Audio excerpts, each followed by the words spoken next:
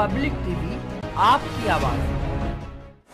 मुरादाबाद के civil lines क्षेत्र में संचालित होने वाले कुछ स्कूलों के खिलाफ बेसिक शिक्षा विभाग को शिकायत मिल रही है।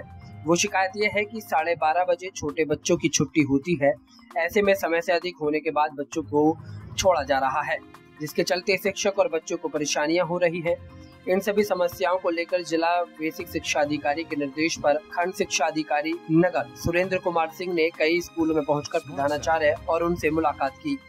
स्कूलों की छुट्टियों के समय के बारे में भी जानकारी ली, जहाँ पर कई जगह कमियाँ भी पाई गई। ऐसे में खंड शिक्षा अधिकारी नगर ने बताया कि हमें ये शिकायत मिली है कि इस सिविल लाइन क्षेत्र के कुछ स्कूल समय पर छुट्टी नहीं कर रहे हैं। शिक्षक और बच्चों को परेशानियाँ भी हो रही है। इन सभी बातों को ध्यान में रखकर आज कई स्कूलों में पहुंचकर निरीक्षण किया जा रहा है।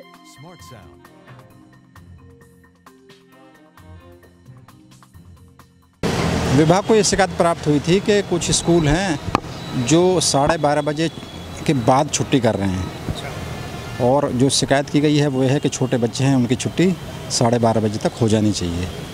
शासन के क्या आदेश है कितने बजे छुट्टी होनी चाहिए? शासन के तो परिषद के साढ़े बारह बजे छुट्टी के आदेश हैं।